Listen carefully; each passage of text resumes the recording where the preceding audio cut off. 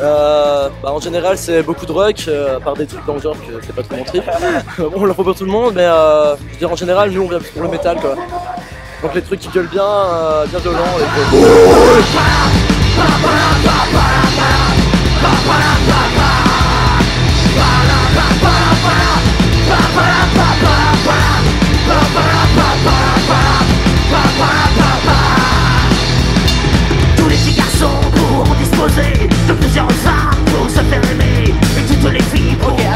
venu voir quoi Le bal des enragés, comment Le bal des enragés. les en nouilles Les concerts valeurs en enfin la citrouille Les écoles caserne de la ratatouille Voilà, voilà